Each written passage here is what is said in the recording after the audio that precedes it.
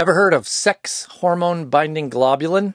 Also known as SHBG. Maybe you've seen that term on a lab test and you've wondered what the heck that means. It's possible that your hormone doc has mentioned your SHBG is high and that's why your hormones, especially testosterone, might not be working as well as you want them to. I'm Steve Goldring, the hormone pharmacist from simplehormones.com. I help patients and healthcare practitioners with easy to understand patient education resources.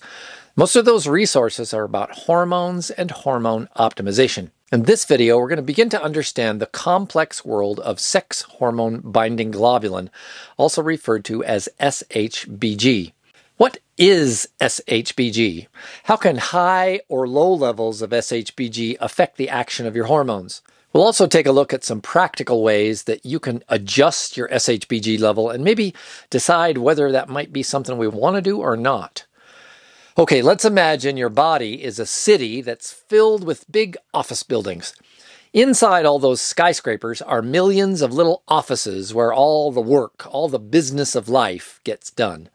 Imagine SHBG as an Uber service that moves people around in this bustling city. In the city, we have two types of Uber passengers businessmen representing testosterone and business women who represent estradiol.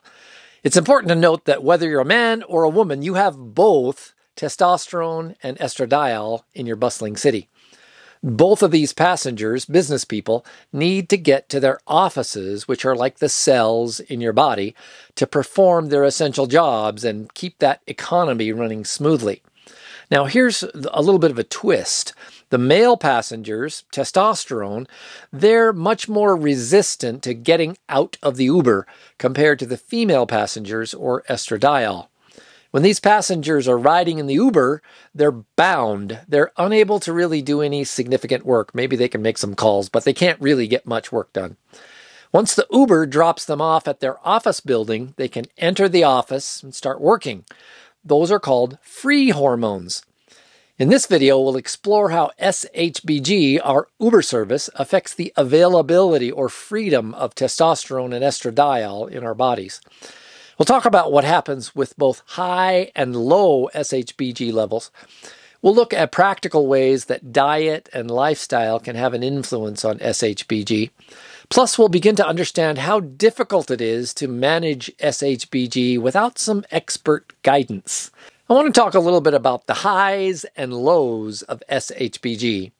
Imagine if we have a whole bunch of Ubers around, lots of SHBG, that's going to rein in the action of testosterone, making it less able to do its work. A high SHBG level means more hormones are bound. They're stuck inside those Ubers. This can be a good thing in, for example, women with PCOS. These women often get maybe unwanted hair growth from overactive testosterone. Instead of trying to decrease their total testosterone level, one strategy might be to increase SHBG and reduce the amount of free testosterone that can actually cause that unwanted hair growth. Higher SHBG or more Ubers can help reduce unwanted side effects of testosterone and, to a lesser extent, estradiol. On the other hand, low levels of SHBG, fewer Ubers, means that there's more testosterone available to work in the offices, which are your cells. There's still the same total amount of testosterone, but there's more businessmen and businesswomen that are unbound. They're available to get their work done in their offices. Lower SHBG might be helpful in men or women who maybe struggle with low libido issues. They might be taking some supplemental form of testosterone, and a lower SHBG might mean that testosterone is better able to improve their sexual function, their libido, arousal, and desire for both men and women. The goal for SHBG, just like hormones, should be not too high and not too low, but just right. One of the most important lessons about the SHBG continuum from low to high is that low SHBG is bad for your metabolic health. Low SHBG increases the risk for insulin resistance.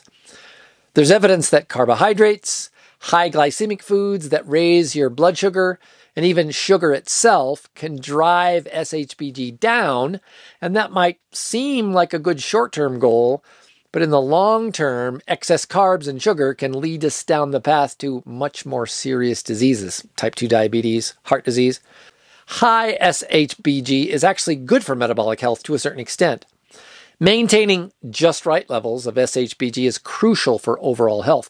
That's why it's so important to seek expert guidance from somebody who really understands how to manage those SHBG levels. Well, you can influence your SHBG levels through the ways you eat and through your lifestyle. Here are just a few ways that we can help achieve those just right Uber numbers and just right SHBG levels. Fiber rich foods like whole grains, fruits, and vegetables, those can help boost SHBG production. Fiber probably has the biggest impact on SHBG of any foods, but flax seeds contain phytoestrogens that might increase SHBG levels. Green tea and nuts and seeds may also have some ingredients that help to boost your SHBG. There are a few foods that can lower your SHBG, at least to some extent. Sugary foods and refined carbohydrates, as we've already discussed, those can lower your SHBG levels. Excessive protein intake, while protein is important, theoretically, too much can lower SHBG. Uh, excessive intake of olive oil and avocado oil theoretically might lower SHBG. There are some lifestyle factors like a lack of physical activity or being sedentary can lead to lower SHBG levels. Too much alcohol, moderate drinking tends to boost SHBG, but too much alcohol can actually drop it. There are certain medications that can have an impact on generally lowering SHBG. Uh, thyroid, both low thyroid and high thyroid hormones can affect SHBG levels. While all these factors can influence SHBG levels, the impact can vary from one person to the next. It's also good to note that some of these levers we pull to change SHBG are much bigger than other levers. Things like losing weight and adding more testosterone make a big difference in SHBG. Protein, fats, and even carbs make much smaller differences. That makes it even more important to really trust a specialist who understands both hormones and the action of SHBG. Understanding and managing your SHBG levels is one of the keys to optimizing your hormones and your health. As I've mentioned, you can influence your SHBG levels and improve your overall well being, but it's also a really good idea to find some help with that process. My recommendation is that you consult a hormone optimization specialist to help you optimize both your hormone levels and your sex hormone binding globulin levels. Getting both of those just right helps assure that you have the right amount of hormones, especially testosterone, available to keep your city running smoothly. Visit my website at simplehormones.com slash referral. You can fill out my referral request form on that page to see if there's a hormone specialist in your area, and I'll check my database and get back with you. Thanks so much for watching, and remember to like, subscribe, and hit that little notification bell to get notified anytime I post a new video. Thanks so much for watching, and I'll talk with you again soon.